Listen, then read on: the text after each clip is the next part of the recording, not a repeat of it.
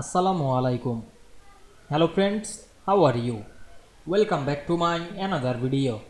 In this video, I am going to show you how to add watermark to certain pages in Affinity Publisher. Let's get started. Firstly, we have to open Affinity Publisher document. Now we want to add watermark only certain page. Firstly, go to the window menu, enable the pages option. Then we can see here show the all page at once. Now we want to add watermark only certain page. Go back the frame tool section, select the frame text tool and draw a text frame to this page. Then write your watermark text.